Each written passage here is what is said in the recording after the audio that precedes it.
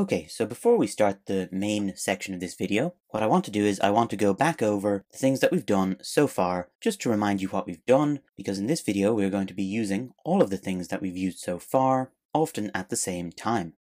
So we've seen that if y equals ax to the power of n, so y is just some multiple of x to the power of n, where n is some integer, then dy dx which we call the derivative of y, is going to be equal to n multiplied by ax to the power of n minus 1. So all we're doing is we're multiplying by the power, and then we're reducing the power by 1. Now that's the main thing that we've learned, but we've also looked at three special cases. So if a equals 1, then what we have is y equals x to the power of n, and dy dx will be equal to nx to the power of n minus 1. So the same thing, if y equals x to the n, we multiply by the power and reduce the power by 1. We've also looked at what happens if n equals 1. Well, in this case, we have y equals a x because the power of x is 1. And in that case, dy dx will just be equal to a. So the x's will disappear because when we reduce the power of x by 1, then it will be x to the power of 0, and any number to the power of 0 is 1, so we will just be left with a multiplied by 1, which is a.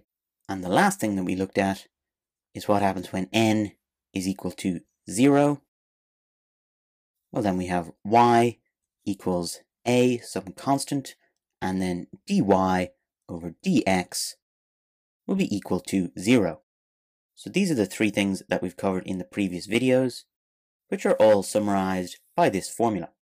So in this video, we're going to look at what happens when y equals a x to the power of n plus b x to the power of m. So that is when y is some multiple of x to some power plus another multiple of x to another power.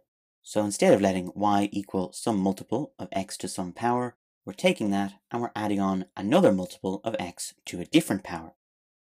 And we want to know what is the derivative of that. So we have two things added together. The way we're going to find the derivative is we're going to take the derivative of each thing by itself. So first, we're going to take the derivative of ax to the power of n. So we multiply by the power, and then we reduce the power by 1. So there's the derivative of the first part. Then we have plus, and next we want the derivative of the second part. So now we multiply by the power, which in this case is m, times bx to the power of m minus 1 because we reduce the power by 1 and this works for any number of terms. Whenever we're asked to calculate the derivative of a sum of several terms, all we have to do is take the derivative of each one separately and then add them together. So I find the best way to remember this is to say that the derivative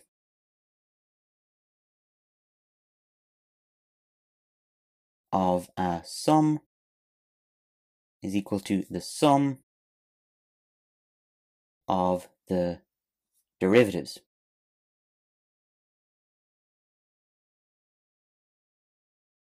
So to take the derivative of things added together, then we just add together the derivatives of each individual thing. Now let's see how this works in practice because it's much easier to understand when we start actually working with numbers. So for our first example, let's take y is equal to x squared plus 7. And we're asked to calculate the derivative of y equals x squared plus 7.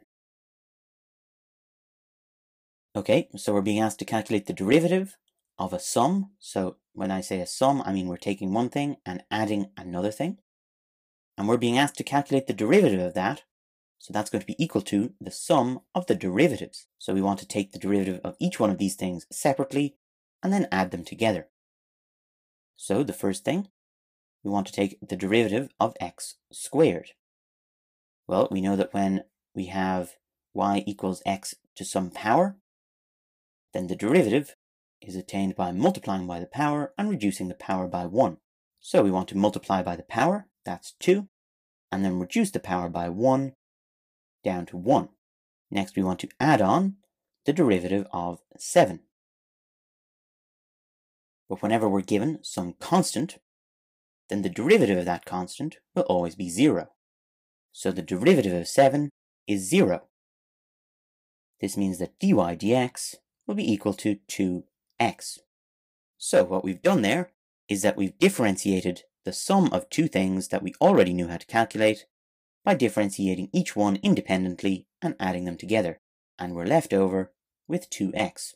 So the derivative of x squared plus 7 is 2x. Let's move on to another example. So let's say y is equal to 2x minus 4. And we're asked to calculate the derivative dy dx. Well then what we want to do is we want to take the derivative of each thing independently. And then this time, because there's a minus in between them, we want to subtract the two. So first we want the derivative of 2x. So whenever we want to differentiate some number times x, the derivative will just be equal to that number. So the derivative of 2x is just going to be 2. Then we want a minus sign because we have a minus sign up here.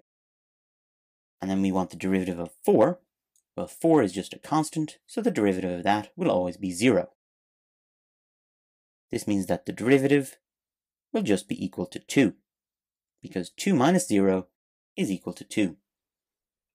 So if y equals 2x minus 4, dy dx equals 2. Next, let's try y equals x cubed plus 2x squared minus 18. Now this time we have three terms, so that means we want to take the derivative of each one of the three terms.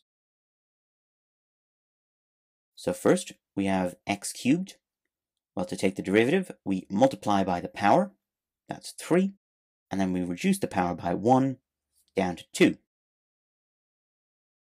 Next we have a plus symbol. Then we want to take the derivative of 2x squared. Well, to do this, we multiply by the power, so that's 2 times 2x squared, but we want to reduce the power by 1, so it goes from squared down to the power of 1, and we don't need to write that. So we have 2 times 2x. And then here we have minus the derivative of 18. Well, 18 is just a number. There are no x's. So the derivative of 18 will be 0.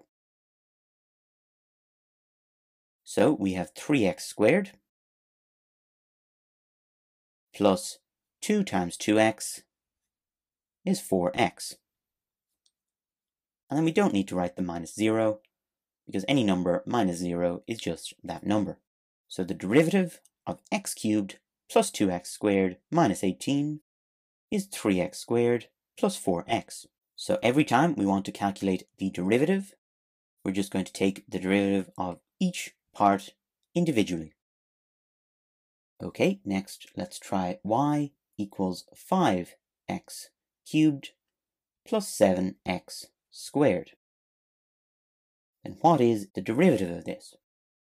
Well, we want to take the derivative of each part separately. So first we have 5x cubed. So we want to multiply by the power from this formula over here. So we multiply by the power, that's 3 times 5x, except we want to reduce the power by 1, so it goes down to 5x squared. Then we want to add on the derivative of this. So we have 7x squared, so we multiply by the power, that's 2, and then reduce the power by 1 down to 1. Simplifying this, we have 3 times 5x squared, so that's 15x squared, plus 2 times 7x is 14x. So all we're doing in this video is we're taking things that we already know how to differentiate using one of these things discussed in the previous videos, and then we're adding those things together. Then we can differentiate that by differentiating each term by itself. Okay, next let's try y equals 6 minus 14x. Well then to get the derivative, we have to differentiate each thing separately. So first we want to differentiate 6. Well 6 is just a constant, so that means there are no x's. So when we differentiate it, we'll get 0. Then we've got our minus sign, and then we want to differentiate 14x. Well, that's a number times x, so when we differentiate it, we'll just be left with the number. So we've got 14. So dy dx is going to be equal to minus 14. Next, let's try y is equal to 18 plus x squared minus 3x. Then to get the derivative of this, we want to get the derivative of each part individually. So first we want to differentiate 18. Well, 18 is just a number, so the derivative of that is going to be 0. Then we have a plus sign. Then we have x squared. So the derivative of x to some power, we want to multiply by the power and reduce the power by 1. So we have 2x. Then we have a minus sign and then we want the derivative of 3x, so this is some number times x, so the derivative will just be equal to the number. So we're just left with 3. So dy dx is going to be equal to 2x minus 3. So what we've done in this video is we've learned how to differentiate several terms added together. To do this, we're using all of the things we learned from the previous videos, and we're applying them one at a time depending on which one is relevant. In all cases, all we're doing is using this formula and applying it to each term individually, but in our previous videos we've seen special cases of this formula which allow us to do it much faster. But if you can't remember these three special cases, you can always use this one, but in some cases a will be equal to 1, n will be equal to 1, or n will be equal to 0. And that will allow you to use any of these by only remembering this first one. Now knowing this, we know how to differentiate a lot of things. So in the next video, we're going to be using some different notation, but we're going to be doing essentially the same thing, just writing it slightly differently. So in the next video, we will be able to go over this in more detail and revise as we go forwards.